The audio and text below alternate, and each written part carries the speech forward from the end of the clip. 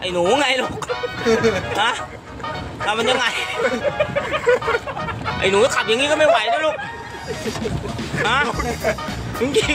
ๆมึงอย่าไปเผลอยืมควายใครขี่นะไอ้น่ะกูไม่ไหวอย่างเงี้ยหลุดเลยอะรักเหล็กกับเทเฮ้ยขายค่อยค่อยมึงจะไปรักงั้นนะไม่เอารักเหล็กมีคนดูเปล่า ล่าสุดดิคุณ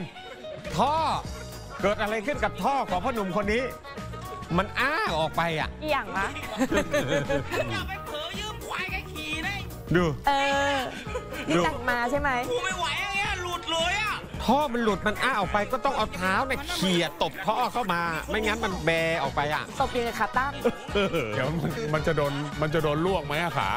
ไม่รู้เหมือนกันก็พยายามเอาใส่รองเท้าอยู่นะ เออแต่เหมือนไม่ใช่นี่ขี้เกียจ ไม่ใช่ของเขาเองนะมันหนีบเข้ามายังเหไงมือนเอามาประกอบอะ เออเผลอยื มควายใครขี่นะนี่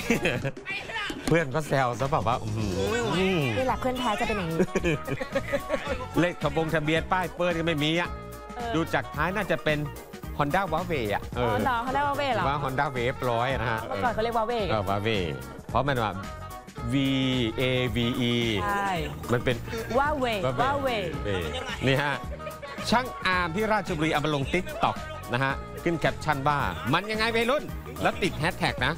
พิธาลิ้มเจริญรัตน์เอาเกี่ยวอะไรอะเกี่ยวเกี่ยวอะไรเกี่ยวอะไรก่อนมันน่าจะเป็น trend trend hashtag Twitter อ๋อ trend hashtag มาแบบต้นๆอะเอออยากให้โลกรู้ไงเออเออใครก็ติดแฮชแท็กพิธาอะไรเงี้ยเทคนิคทำให้คลิปมีคนเห็น เออนั่นมันเป็นเทคนิคนะน้องชายนะใช่